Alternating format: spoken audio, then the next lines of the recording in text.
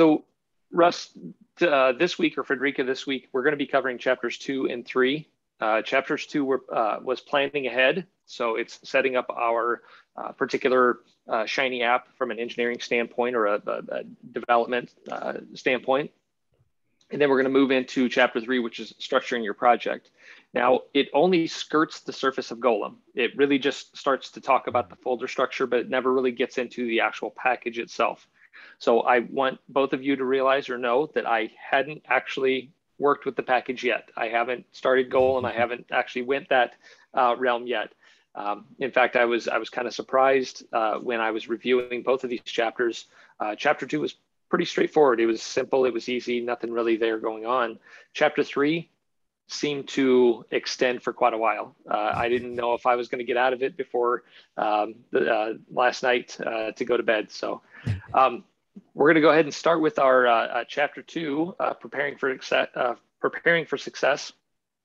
Um, I did go ahead and write up some learning objectives, Russ, just for your information, and Frederica. Um, I did put a, a, pull request into the R4DS EPGS repository. Okay, uh, so both of these both of these uh, uh, sections or chapters that I wrote up uh, are committed. Um, whether they'll be accepted, that's a different story. So uh, the learning objectives for chapter two are learn the KISS method. And we're going to find that the KISS method is keep it simple, stupid. Um, it's not an implication that you're ignorant. It's not an implication that you're of any less intelligence. Keeping things simple means that it's going to be easier to orchestrate. And that's kind of a repeated uh, comment throughout this chapter too. The next learning objective I wrote is establishing good version control with uh, constant innovation or CI process, in addition to test sequences. So as we commit our changes, we have automation in the background that is testing or uh, validating our code to ensure that it's not breaking anything or that it's uh, uh, working within our um, particular paradigm or, or service that we're authoring uh, Russ, to your benefit, that linter, uh, lintr the, uh, package that you were referring to, that's actually where I was going with this whole test sequence concept. So when you commit your code, if the lintr is looking for any syntactical errors, that it would flag it and uh, uh, uh, create some issue tracking or, or validation of the code in commit. The third learning objective, we had comprehend development comprehend and develop the team hierarchy. Uh, I need to change that wording. That doesn't make sense. Um, what I was trying to say is uh, set up your skill sets and set up your uh, position hierarchy, right? Um, have a shareholder or a stakeholder uh, that would re be responsible for the project. And then also your developers and any other support network uh, that will be required to uh, also instantiate this service. Uh, there is a quote in this beginning. Uh, I don't speak French, but uh, I had to do a translation for it. Uh, Rome ne fut pas fiat tot en un jour. I don't think I pronounced that correctly, but the English translation states uh, Rome was not made in all in one day. Uh, and that's a Google translation. I think what it intended to say is Rome wasn't built in a day. Um, Frederica, I, I believe, being the Italian that you are, that right. may be a reference. So, yeah, says um, Roma non è, non è, stata fatta in un giorno. Ro- Roma hasn't been made in one day, in just one there day. There we go. That's the awesome. That's a that's a great translation. Thank you for adding that. Um, so the chapter is preparing for the project itself. Uh, projects that aren't planned will incur additional cost to unwrangle bad code. Um, last week, uh, during our first introduction and chapter one session, we talked about complexity, how uh, how we manage complexity. What is complexity? How can complexity be uh, um, uh, wrangled into a good product or, or an enterprise or production grade Shiny app? Uh, so if you start off on the wrong foot, if you start off in a very poor uh, proof of concept type method and never really uh, correct any of those errors, if this does go into a production setting or, or a maintenance type uh, environment, uh, it will be very difficult to maintain for a long period of time. Uh, I will be the first to admit that uh, during proof of concept or, or during development, uh, my code base is horrible. Uh, and so I had to take a lot from this particular chapter reading this section. Uh, it also talks about setting up version control. now, there's multiple methods of version control. GitHub is the current practice that the RDS uh, service is using. Um, in my own personal, I use GitLab more often. Um, I've never used Bitbucket before, and I know there's a couple other version control uh, services out there, Subversion and and uh, is it Mandria or I always get that term mixed up. MariaDB and is it Mandrake? What's the other version Mercurial? control? Maybe is that's it? it? Yeah. There's a couple of terms that really sound similar it's, to each other. So I think it's Mercurial. Um, it's like HG on the command line or something like that. That they type, is that it? it? Uh, okay. Yeah, yeah, Mercurial. Yeah researching a lot of different version control services, uh, I stumbled into some other areas that I wasn't aware of. And so I do want to pursue those, uh, gain some understanding of, of the differences, uh, benefits, and uh, uh, bad practices if you were to use that service. Um, and then finally, the organizing a hierarchy of personnel. So setting up that stakeholder, et cetera. Uh, the sooner you start with a robust framework, the better, and the longer you, uh, you wait, the harder it gets to convert your application to production ready one. So again, start off with the right foot. Uh, it may appear cumbersome, it may appear uh, complicated to uh, request all of these additional services when you're just developing a simple app. However, taking that practice in mind will prepare you for when it does become a production level or even a, a maintenance uh, type action, uh, long-term uh, support for this service. All right, next slide. Excuse me. There we go. Uh, so the KISS method, uh, we, I, I, I, do have a, a, very near and dear uh, story I'd like to share using this Lockheed Skunk Skunkworks reference that the author added. Kelly Johnson was the lead engineer for the, the Lockheed Skunkworks, uh, this was the uh, U2 and the uh, uh SR-71 development, say the 1960s, early 60s timeframe. Uh, what that engineer had stated, or, or the comment in the book, was that you give your uh, maintainers or your, your developers, we'll call them, a common tool set. Don't get crazy, don't get all weird with a bunch of odd tools. If you keep it simple and only use these common tools, you will be able to maintain it for a longer period of time with a lower aptitude of personnel. Okay, you don't need that specialty person uh, that, uh, that only they can develop this particular service. Uh, I am a, a, military vet, and so the Lockheed Skunk Works is near and dear to my heart. Uh, the military method is always uh, to take it down to the lowest common denominator. And so examples that I had within this developer environment uh, would be the tidyverse uh, or dplyr or ggplot, um, maybe your uh, JSON, uh, uh, is it jsonlite? Um, some of these packages that we will use uh, over and over again build the common core set of every other developer within R. if you start to extend in some really crazy, almost like dev tools type applications, that's where you're going to really start pushing uh, away from the norm.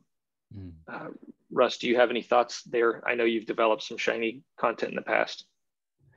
Yeah, um, I, it's difficult because like the there are there are different common sets of tools for different disciplines, and like I mean, I used to work in bioinformatics, and um, the uh, the the common kind of object types that they they use in the bioconductor packages were extremely difficult to use with tidyverse for, for, oh really? for quite a long time. So they, they there was a bit of a kind of um, compatibility problem there. Was it like so more like, base R then? uh, well yeah i mean you'd you'd you'd typically index using um, the the base R syntax and, and things like that. But the, I mean, so if you're talking to people who work in uh, a, a, more kind of biology focused world, the tidyverse is a lot newer of a um, uh, go-to package than it is in like more broader data science world. But um, yeah, I, I I do agree though that it, it's better to.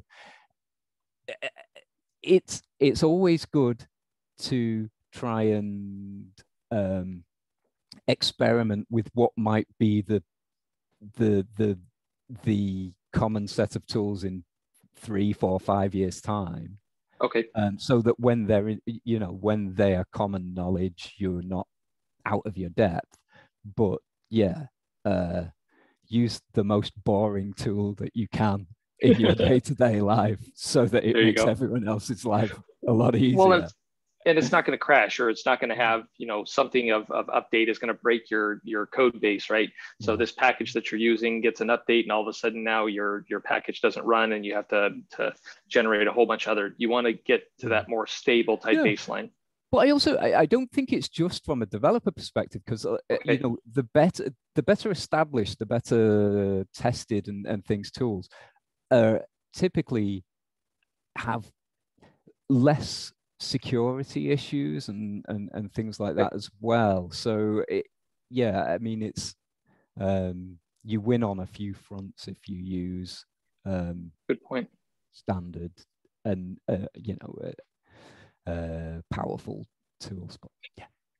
First thing that comes to mind with this, not related to R, but just the Arch Linux uh, environment. Um, anytime that you go into that Arch, you automatically have this awesome, you know, crazy Linuxy awesome sauce. But then on the same token, uh, you do a package update and all of a sudden your system crashes and, and the computer is rendered almost useless. It's, hmm. it's kind of that same concept, right? If you go to bleeding edge, you might kind of start running a risk. Um, uh, keep closer to the, to the tools that, that are more common. And then um, various levels of workforce aptitude leads towards varying degrees of success. So again, if you bring that barrier of access down, right? These common tools that people are familiar with. If you use those applications, you will access a wider audience of potential workforce, potential developers, people that are familiar with, with your code. Um, if you extend into some really oddball uh, type details, it just reduces that uh, quantity of people that may be able to assist. If your team chooses to use abstract packages, this is a, a paragraph out of the text.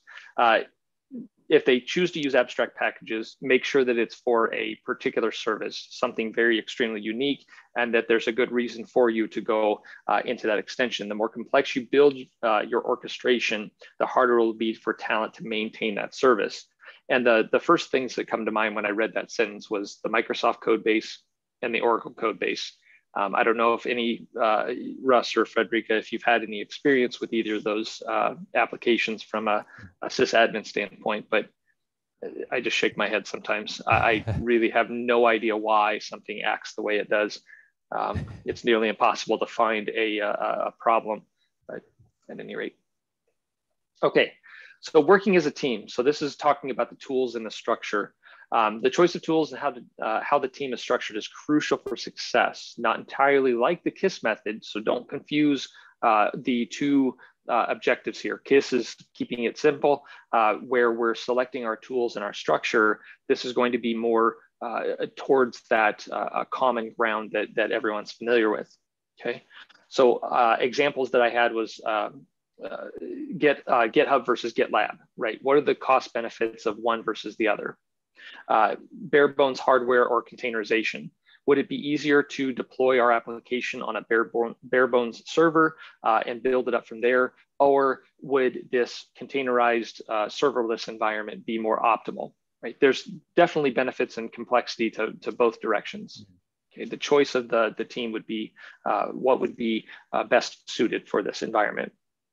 Uh, from a tools point of view, version control and test all things. Do not, do not, do not release anything that hasn't been tested. Okay, do not push to production anything that hasn't been tested and validated. Uh, the comment about version control is that it allows for that diff doc or comparison. So as you're writing your code base and you commit that change or you, you branch, um, uh, modify, and then commit, I had a, uh, a workflow down here uh, that I just pulled off the top of my head. But um, if you're using a version control like GitHub or GitLab, right, you're going to be able to branch that repository, make a change to a file, uh, test, validate, uh, commit. Uh, if you're using GitLab, they have CI/CD process. Uh, commit that change, and then put a pull request to the owner of that repository, and then that owner will merge it in if they choose to. Okay, so that's a good example of a workflow uh, from, a, from a version control type service. The next comment says small is beautiful.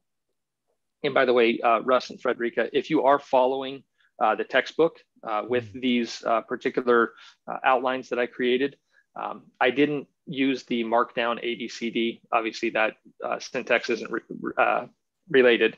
So when it started to talk about ABCD and each of those heading levels, um, I've prefaced that with one, two, three, four instead, not to be confusing. Okay, right. Right. All right. Uh, smaller, more manageable pieces make it easier to develop. So if you start to break down your structure of uh, compiling this larger application, if you break it down into these small and smaller common denominators, it does make it easier to make minor changes to those uh, smaller packages or smaller services, and then as it compiles uh, into a larger application. Teams maybe even work in parallel, but be cautious with this statement. Um, that wasn't a direct statement out of the text. I added that in there. Uh, I've ran into this in the past. So if you do break up into multiple teams, there's a statement in the text where it talks about tier three, tier four uh, are the, uh, the, the authors of the document. They were saying that their workforce is often broken into three and four team groups to develop a particular app. Okay, we'll say that you split that in half. Let's just say it's a four person team and you split that in half. Now you've got two members on one side, two members on the other. And there's an image uh, that I didn't incorporate, but it talks about uh, uh, sub uh, processes. If those two teams were working in parallel with each other, you want to be careful because sometimes they may access the same file. You may have some conflicts uh, with your commits, etc. Uh, so please be cautious if you're working in teams. Okay. Uh, large code bases implies that it uh, that the safe work safe way to work is to split the app into pieces. Extract your core non-reactive functions, which will uh, also be called the business logic, and include them in external files. Most there's going to be a reference in chapter three, but it talks about these business logic uh, components within a Shiny application.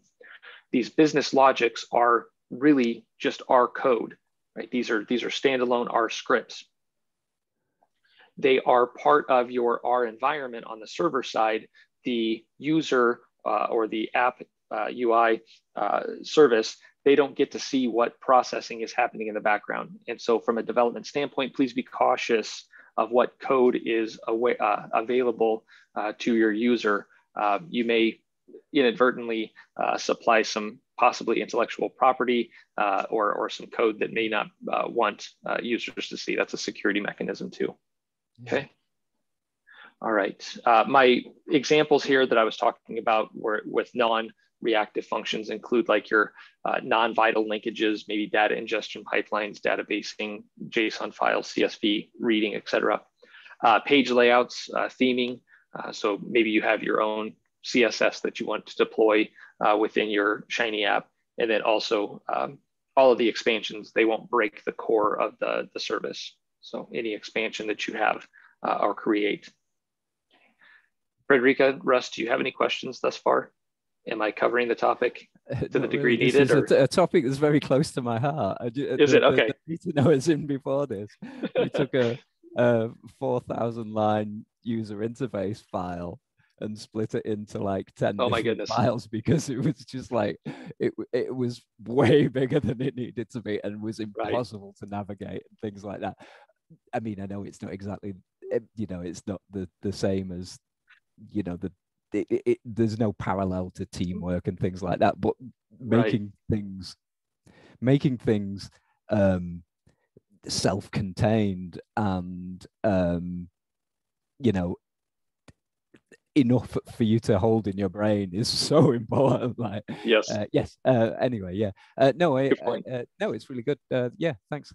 Yeah okay. keep, so uh, now we're switching from uh, the tools point of view. Uh, now we're switching over to the team's point of view. And here's where I was uh, expressing some of the details about selecting a manager. So you want this individual to be a stakeholder.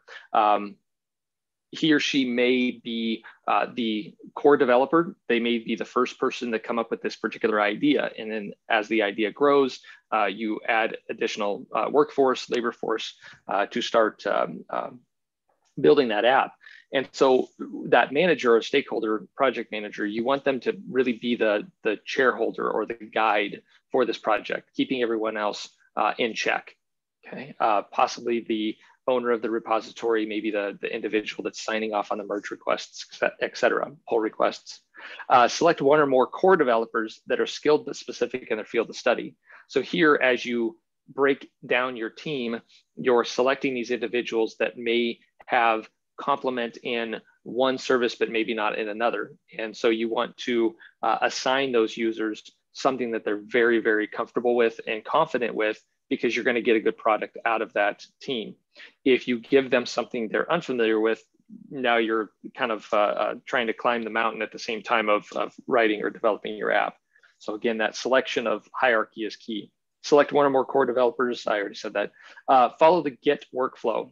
Uh, this was a comment out of the book, and that's why I added that uh, statement up above with the, uh, the Git workflow.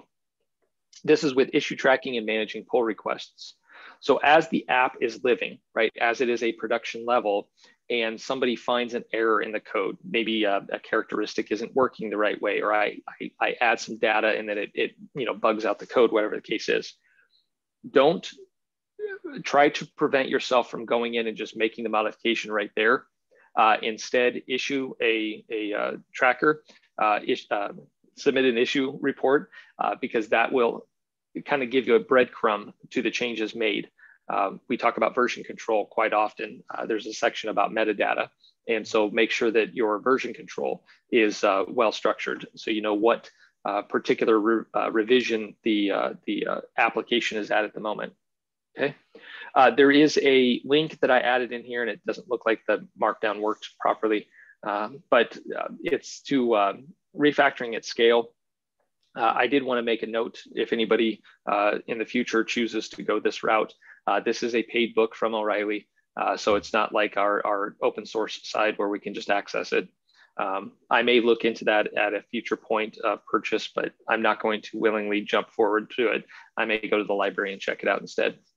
Okay. So, all right. It's mentioned throughout the uh, the the engineering shiny book, isn't it? I, I have read a couple of it chapters of, of, refactoring at scale, but uh, okay, I think it's well, I think we can get a scale beyond mine. Um, but yeah. Well, here in a moment, uh, section three, uh, if you don't mind me expanding, but section three talks a lot about code comparison. And mm. so it, it, it shows you uh, three different ways of the same function in operation and then showing you how to refactor it and, and make it into a short, sweet, concise, and, and, and actually uh, more efficient code base. Uh, that refactoring book probably leads towards a lot of the steps required to think in that mindset. Um, not everybody uh, is, is familiar with that or, or conf yeah. confident in that. The first thing that comes to mind when I'm thinking in this subject would be, um, you know, like a, a break command uh, within a, a, service versus a, a, if else statement versus a for loop that has a breakpoint, right? Each, each method of ingestion or, or processing is going to be the same, but some may be more eloquent or optimized. So, yeah. Okay. But but refactoring though can cause problems across eh, across a team because okay. um, if if I'm working on a, a specific issue and uh, being professional, I do the refactorings required to make fixing that bug easy before okay. I actually fix that bug. Um, I can touch quite a lot of code, and that can, you know, even if it's just code that I think would be useful to clean up before I fix that bug. It, um, if a colleague is working in the same files or whatever, refactoring a lot of code can lead to you hindering everyone else's progress. So you have to you have to be pretty narrow-minded about what you refactor at any point, particularly if it's like a kind of preemptive thing before introducing a feature or fixing a bug or something like that. Um, okay. Certainly, like um, I, I like the idea of this refactoring at scale, like uh, the the the la- large scale refactorings that you can do. But it's quite easy when you're working at a small scale to think, oh, I've changed that line here, and there's similar lines in eight, nine, ten different places across this project. Yes. Why don't I just go and modify those at the same time so that they're uh, the you know, so that you know, say I introduce a more general function to do that. Why don't I then call that from all the other places? But you know, mm-hmm. your colleague could be working on other other files that that you've just touched, and it may cause them break problems. what he yeah break what they're trying to do. Yeah, uh, good point. I think it's quite rare. It's certainly rare in my experience that that you'd you'd you'd end up doing like you know if if the feedback loops are slow or you know people are working in long branches and stuff it's quite easy to cause problems doing that kind of thing Actually, I, I do have a question about branching, if you don't mind. Uh, Frederica, feel welcome to jump in too. So there was a, I think it was a Twitter post or uh, it was some kind of developer thread that I was reading. Anyway, it, it, it posed a question about whether or not to delete branches like after the merge is finished, do you delete the branch? Uh, mm-hmm. uh, because supposedly, and I'm not familiar with this or I don't use it often enough to, to create such a, uh, uh, a large scale of disarray, but um, there's a thought process to whether or not you are uh, kind of a hoarder and you keep all your branches. So like your computer is just filled with all of this extra code base that you'll never actually go back and use, uh, different versions of, of whatever you did to branch and, and modify um, where others, as soon as the uh, the uh, issue is closed or the or the pull request is accepted, they automatically delete that branch. And so there's a there's a school of thought to version control whether or not to uh, uh, uh keep clean and tidy uh, within your version control service, so it's uh, efficient to find out the status of things. Or others may feel, well, I want this, you know, particular um, tracking all the way to the very dawn of time when that file was created kind of concept. I don't know if you both have any thoughts on that regard. Uh, I may have just I, opened some of Go ahead. Federica? Um, I was saying, I have quite a certain number of questions about these things. okay. Um, but I found the same um, the, so issue. Uh, I issued myself about the, the branches, okay. if to delete them or not, um, when and in what conditions. Because, for example, you may what, what happen if you cancel the, the, the branch? Nothing, nothing happened. You, you just cannot push your uh, um, your changes to that that branch and, uh, anymore. But otherwise, nothing um, nothing changed basically. But uh, what um, my personally, what happened to me is um, that I've made some changes through a branch and then these changes uh, basically have not rightly immediately been accepted. Uh, so um, then um, I don't know, it's just like that I kept going within my GitHub, adding things, uh, and, just didn't up, not updating um, yeah the, the, the, the other things that I've already pushed and not be, uh, being accepted. Mm-hmm. So uh, it, it's just like created a sort of, uh, um, how, is, how is that called? Uh, when, uh, like a block, no? A you know, you, a conflict, yeah. right? Yeah. So at that point, you don't mind because uh, your your things inside the, the project are, are okay you don't mind the mm-hmm. things change it there uh, but you cannot use it that branch anymore basically. Right. Yes. I can see where that maybe I, I, didn't say say clearly but you know you have a conflict. You cannot uh, there might be two options. So you, it takes a long time for you to get back and change all the all the little things that um, uh, are not being accepted or maybe pass it through somewhere some other ways uh, or uh, basically you don't care about that. So you have finished with that bit of the project, you don't touch it anymore, but maybe you want to use that branch again mm-hmm. for, for pushing things, but you cannot use it anymore because uh, the, the, there is a conflict. At that point, you, if you want, you can delete it. I think, I believe, uh, I think that can be done easily but uh, I didn't do it. So I have the same doubt about these things. Good point. Um, no, I, I uh, there's so many things that come to mind when you're when you're talking about this particular situation, and it, it it's it's all related to uh, almost like going rogue with the code. And I know that's probably the wrong implication that I'm I'm saying. Uh, anytime you hear the word rogue, you think it's somebody that's not following the rules. It's not that. You have modified the code base to a degree that it's no longer even the right code base anymore. So it's almost like forking, but like you didn't actually fork the project, you branched it with never committing it back into the source. Um, there's a lot to do with that. And I, I, the, the first thought that comes to mind is organic growth.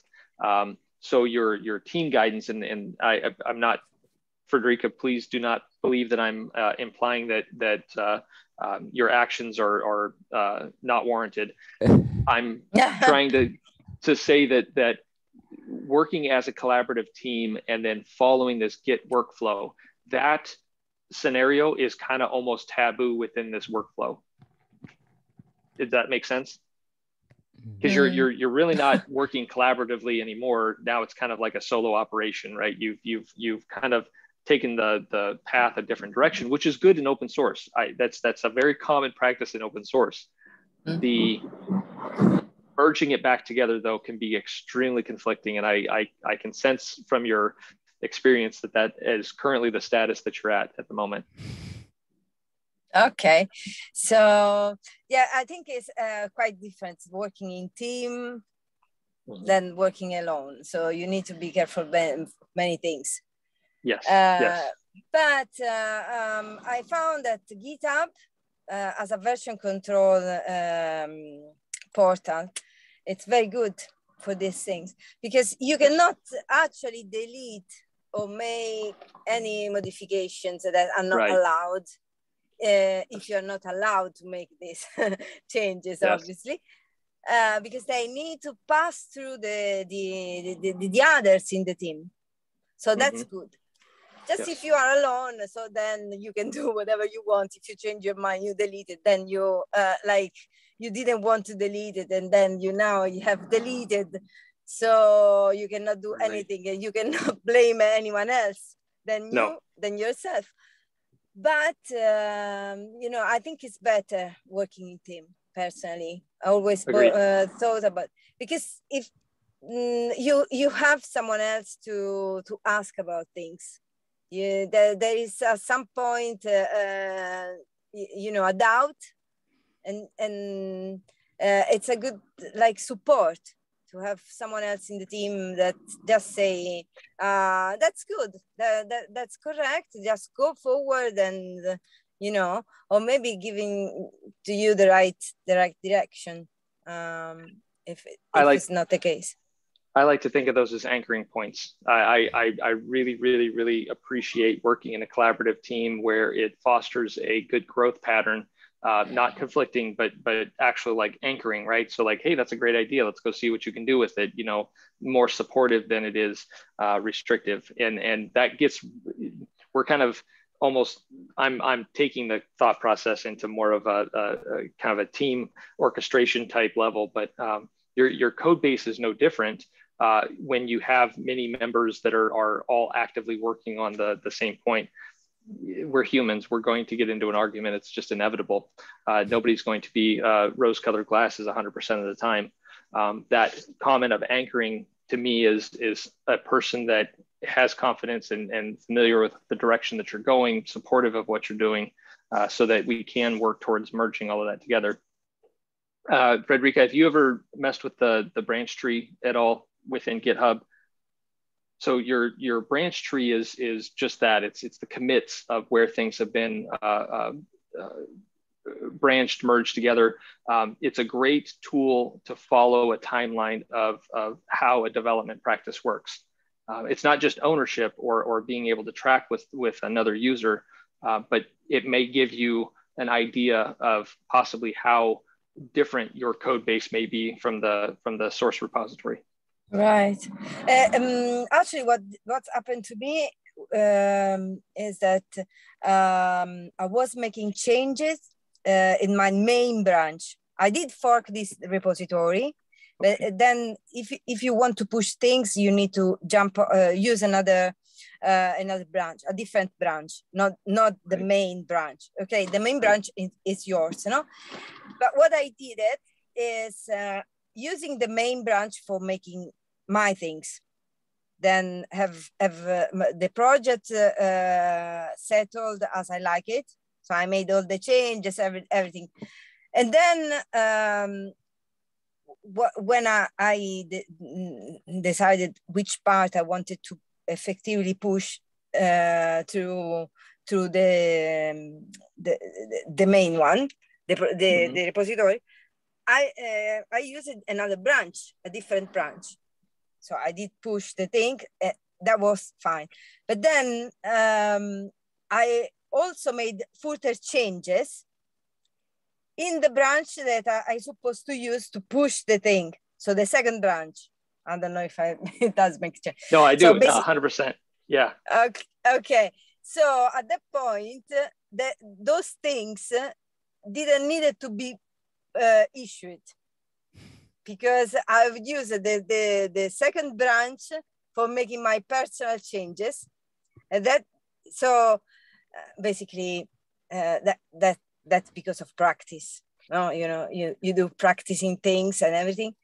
Uh, but it, it doesn't matter actually, because you can just open up a, a different branch and push your, uh, your new things uh, right. with a different branch. You don't use the, the, the other one anymore. Nothing happened basically. Just if you have some rules to to follow and you have that branch, that at that point you need a bit of work, but you can go out of this. you right. know, you can work it out. You just fix it everything, but you don't need it. I I didn't need it. Mm, I just open up uh, a, a different branch branch and use it a new one. I'll uh, if if it's okay with you, I will definitely sidebar with you because I'm really I'm really interested to to uh, assist and or comprehend exactly the uh, the error or not error uh, the situation that you find yourself in. Uh, this is really interesting to um, work within an environment like that uh, that that has such fracturing or such uh, splitting branching going on. Um, how to uh, how to get back into the center again. Um, the next chapter that we have is chapter three, and that's talking about structuring your project.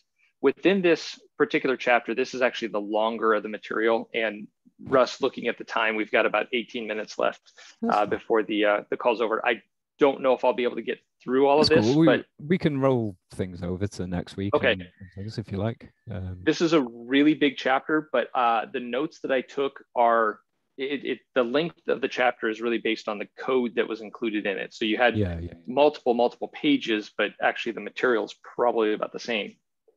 Um, in my examples, I don't have any of that code base. I'll actually uh, you'll see I'll make a reference to going and checking it out, and I, I do have the tab open. Um, the learning objectives for this particular section uh, I wrote down is learn the Golem file structure for building Shiny apps. So again, I stated that in chapter three, we don't actively pursue the use of Golem yet.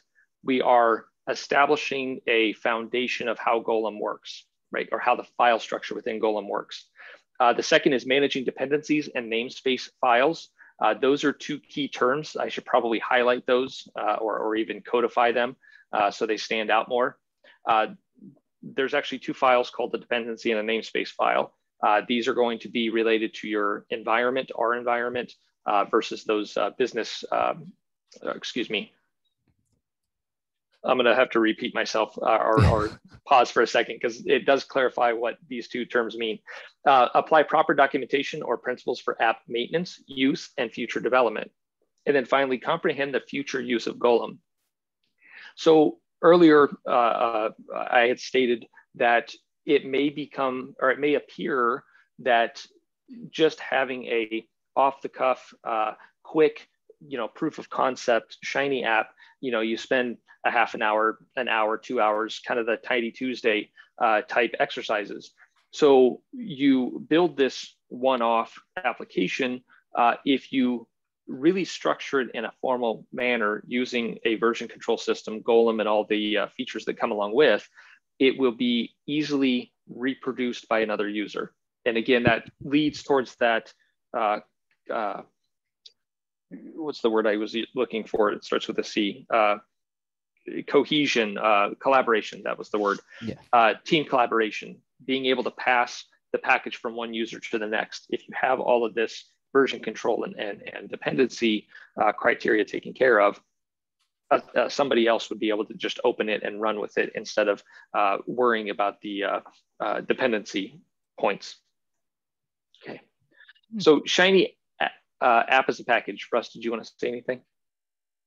Uh, yeah, I'm still to be convinced that it's a good thing that uh, okay. an app should be uh, constructed as a package, but because the um, the Shiny app structure itself is uh, con- oh, my dog's barking. Sorry. Um, no worries. If you've got all your, sorry, I'll have to let him out. He's that's okay. Um, no worries. Go on, go on. Out you go. Out you go. Um, if you've got all your what was called business logic and you've got your modules and things like that defined in the R subdirectory, mm-hmm. then your app is already halfway to being structured uh, it, as an R package, even if you've got an app.r or a UI and server in the top level. Um, the the benefits in going from having the app.r at the top level to having to ha- having it in a package structure that can be installed and then um, uh. I, I I've yet to see the value. The the only time when it's caused me an issue if uh, an app isn't in a formal package structure is when running test coverage. I see. Um, so test that was fine, but when using is it uh, COVR cover, um, if if an app wasn't in um, if it didn't have a namespace and it didn't have the various other trappings of an R package, um, it just failed for me. But yeah, uh, I mean, f- from the point of like a, a sensible organizational structure, um, a, a, a, kind of defined deployment um, uh, p- p- pipeline and, and things like that, you can do that stuff quite readily without having to organize your code exactly as an R package. And Do you find, to be honest, to be honest, uh, things that go along with R packaging, things like you know the the R command check and and, and things like that, uh, they're if anything, they're probably a bit overly restrictive on how your uh, well, code should be structured to me. But I was thinking about your your lintr package that you had yeah, mentioned. Yeah. So uh, during the validation test, lintr was not able to pass its own code base, right? So like it's it's checking itself, but then it's erroring out. Um, that's a that's a really good example of, of possibly where this is. I was going to extend this thought into um, this is often kind of extremely formal, right? It's it, uh, so I'm going to use a school of thought, but please, uh, if anybody's listening or wants to comment on this in the future, um, you have this mindset of engineering being working in a crystal tower, right? Like everything's perfect. Uh, uh, you know, uh, fluid dynamics, aerodynamics, uh, mechanics, precision, etc. Like everything's perfect. And then you get out in the field and you realize none of that really is mattering because that's not really how the world works right? We work in a more dynamic environment. So engineering thinking in a, uh, in a crystal tower may not take into account the environmental variables that their service is being used in.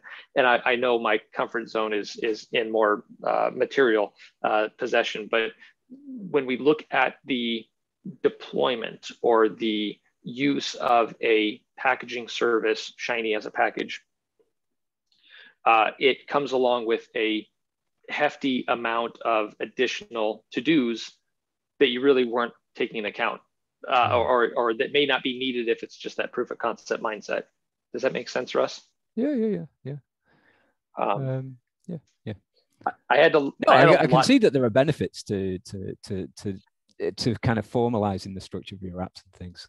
But uh, I've yeah, never, I've never used some of these tools, so I yeah. just oh, want yeah, to let everyone know that this whole book or this this process, this uh, uh, direction we're going with with engineering, I want to test it out and I want to form my opinion on whether or not it's good or bad. But I'm also very respectful to those that have been using it and their opinions as well.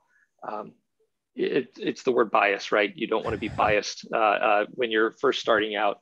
Um, you may form a mindset that that uh, could be in conflict. But um, so the the two things that came out of, of section one, uh, paragraph 3.1, uh, goal is an is an opinionated framework for building production ready shiny apps. Uh, Russ, I think the, highlighting the word opinionated is probably the best I don't. In that I, sense, I, right? I'm glad that yeah. there are frameworks because uh, you know it, the um the, uh, the yeah sh- shiny apps can be in a variety of structures and like um the an opinionated framework does help people out in that you know it if someone presents you some code to work on and it is in a, a kind of a structure typical of a Golem app, or if you're handed a, a you know a Django app in in in Python or something like that, yeah. there's uh, the the structuring and your your obligation to work within the structure that the framework forces upon you helps out um, any collaborators who might come into it. So I, I, I do see it as a really good thing that, that Golem exists. It's just that it's not really um, it some some of its opinions might not strike me as being particularly valid. But um, anyway, do you find do you find any of these services being restrictive? Right, this this structure, this this workflow, this uh, actually uh, no. I probably no. no. I I don't I don't think so. No, it's just okay. uh, it's just an extra hurdle to push code over that that sometimes doesn't really bring a great deal of benefit. But yeah, I, it, it's not like getting over that hurdle would be a restriction okay. on what I could do with a. But yeah, sorry, I, I take your point. Yeah. Gotcha.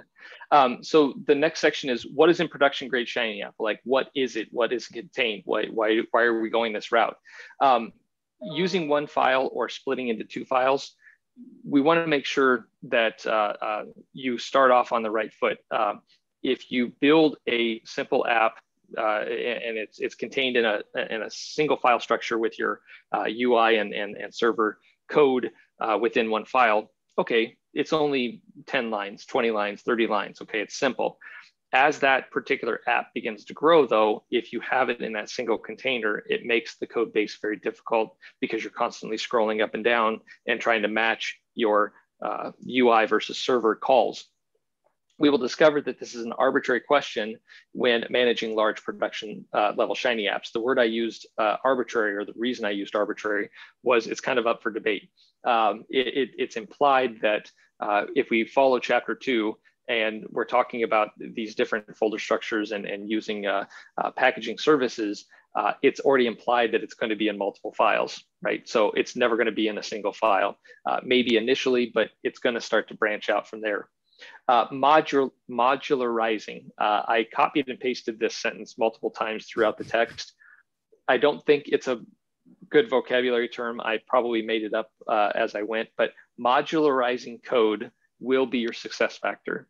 Trying to uh, take that small element of function that may, you know, use multiple times over again. Let's put that in a different uh, uh, modular service so that I can just call on it within my text and know with certainty that it's going to do the process I've guided it uh, or created to, it to do. Um, metadata. I, I, think it's I think it's important there to distinguish between the um, the shiny module um, entity from okay. the concept of modularizing code because you know um, uh, modularizing is more about splitting up code into logically connected structures okay. of which the shiny module provides one particular aspect of but but your the the the sim you the more typical way that you will split up code in in shiny is to most of your code should be just functions it should should be the non-reactive stuff I, see. I, I would have thought whereas like the the module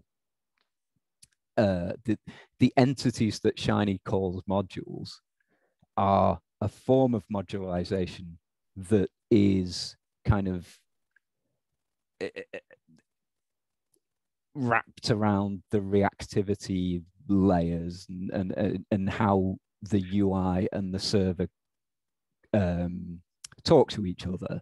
But really, the you know you can have UI functions that you pull in. You can have functions that act on data that your server calls to. Um, and the act of constructing those functions is just as important as is um, splitting up the reactive components into, you know, the, the front to back end communication into the, the shiny modules. Really, like, I mean, you can have, you can have, you can split an app into shiny modules and it will still be complicated to follow unless you've, you know, named your functions well and things like that. And that's actually part of a section at the bottom here talking about naming convention or, or, or the naming of, of not only functions, but also uh, what's the term that they were using? Uh, it's not variables. Uh, there's a there's a comment in here where they say if you uh, it's it's uh, they were using an example of a button, an actual radio button, and that mm-hmm. if you call it so that when you evoke that particular uh, uh, object, uh, this, this radio button, that the naming convention that goes along with it would be this term and then preface with another attribute, right? Uh, concatenate uh, between a variable and, and some static value so that it creates a unique identifier. And I, I, I found that very well uh, thought process. the, the, we haven't actually got to the comparison of the code bases yet, but um, I found reading those two sections or comparing those two codes together uh, started to make sense what we were doing. Okay. Um, I, we've got three minutes left. Oh, sorry. Yeah. I, do you want? I mean, you've you've obviously got a, a meeting after this. Do you, do you want do. to? Re, we can we can regroup next week next week and talk about chapter three, if okay. you like. Sure. If that's okay um, with you. Yeah, yeah, that's cool by me. Um, so um, I can probably throw together some notes on the the chapter four as well that we can um, discuss after you've done chapter three, if okay next week, and I'll kind of configure the uh, timeline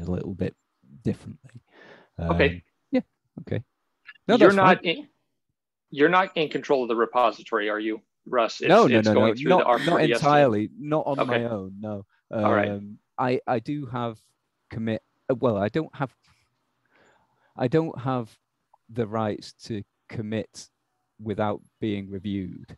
Uh, I see. That's good. but um, yeah, uh, I, I can I can merge your pull requests. Okay. Uh, uh, if you want to take a look at it, um, if you find anything in error, please don't hesitate to uh, comment or, or uh, put it on there. I'll uh, I'll track with it as well. So. Okay. Okay. Great. Well, brilliant. Um, well, thanks for taking us through that. Uh, and uh, I mean, we'll we'll look forward to, to talking about chapter three next week. Then, uh, awesome. Cool. Brilliant. Right. Cool. Great. I'll see you on next week. All right. Thanks, everyone. I appreciate it. Have a good day. Bye.